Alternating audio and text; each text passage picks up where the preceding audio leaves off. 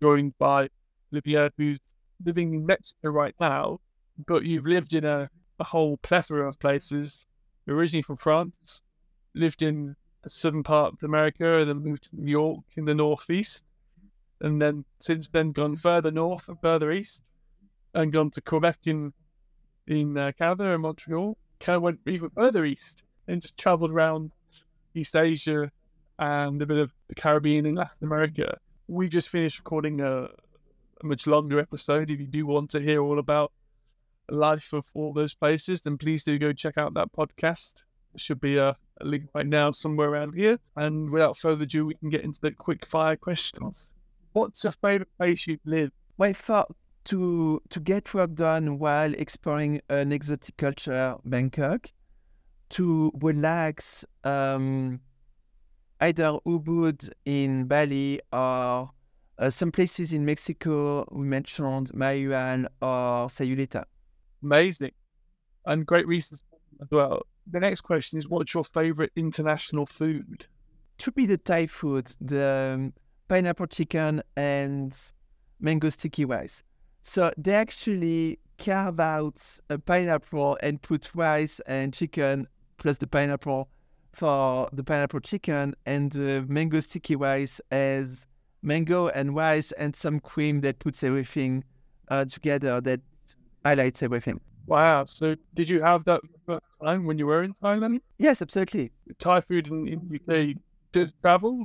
There's a lot of Thai restaurants, but you see the nuances within that and the authenticness of eating it out of the followed. Yeah, I mean, if you're in North America, you can just look at the menu of your Thai restaurant to see whether they serve genuine food by see whether they serve mango sticky rice as a dessert or not. Uh, and then, what's your favorite international tradition? I mean, I love cacao ceremony, ec- ecstatic dance, which comes from pre-Hispanic, pre-Hispanic uh, Latin America. There's a certain connection to to yourself, and you can you can find similar traditions in uh, in Bali. There's a place called the Pyramid of Chi in Ubud that I like a lot.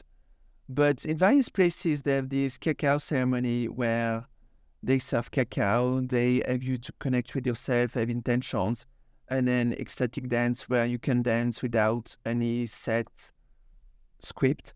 Um, yeah, I enjoy that a lot. Wow, yeah, that's one for me. So some research on that. for cool. The next question is, what's your favorite thing about living abroad? The sense of discovery and freedom, the sense of of feeling, um, yeah, feeling something new, discovering, and just enjoying something new. I, I like I like to to discover things, to have a feeling of novelty. Perfect. And then what's your best homesickness remedy? Well, you can usually find something that reminds you of home. Go to a given restaurant, international restaurant, or stay connected with, with another group of expats. Especially now, it's it's almost a danger actually. Um, if you're a digital nomad and you revolve in this circle, you're almost in a bubble and you don't really connect with the local culture. A few decades ago, even if you were an English teacher and you would be working in a local school, uh, teaching English to locals, you would be much more prone to homesickness, but at the same time, you would discover local culture a lot more than with the facilities we have nowadays. The hardest thing about living abroad? I mean, figuring how things work, whether it's customs, how to interact with people, or whether it's more technical things when it comes to immigration, banking, etc. How to get goods delivered to where you are. But it doesn't come across as a huge nuisance to me. Um, what what's the best trade learned whilst living abroad? Well, that, that's the one that I mentioned earlier. Uh, jump, jumping off the cliff and building your wings on the way down, which uh, can, for better or for worse, describe a lot of um, what life brings our way. And oh, staying with, staying on the safe side doesn't really lead to growth. No, it's a very good point. Uh, you don't grow in your company. And then, what's your best way of making new friends? Just social events. You um, just talking to people, going to social events. You'll go. Uh, Facebook have a, um, has a page for events. Many events will be posted there, and you just go do something you like and talk with people. That's a great, great point. One thing I feedback from that is if you don't find any events, you can always host an event. What, what might be helped by your opening of one. What's the best thing to do in your new city? The best thing to do, just roam around, just walk randomly, discover new restaurants, discover the beach, discover the places that are active. Yeah, right. And then my last question what's your best expat life hack? Expat life hack.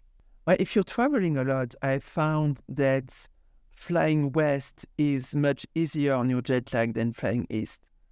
If you fly west, um, you will have a bad night of sleep because you'll be in an economy class seat in the plane, but you will have a longer night. So all in all, you will have enough. You will have the same amount of rest. You'll have less quality longer night. But if you fly east, not only will you have a lower quality of sleep, but you will also have a shorter night, which will compound onto each other. That's really good. I don't it makes sense incredibly practical. So hopefully that's helping people a lot. Maybe you just keep going west until you get back. You just miss a whole day. That is. Um, thank you so much for joining the podcast please do go check out Olivia's website and service. I'll leave a link in the show description for that. If you do have any, I guess, US tax return assistance is required, then please do check that website out. And if you do want to denounce your new citizenship, also please do go check out that website. Awesome. And then we'll see you next time, the Expat Pod.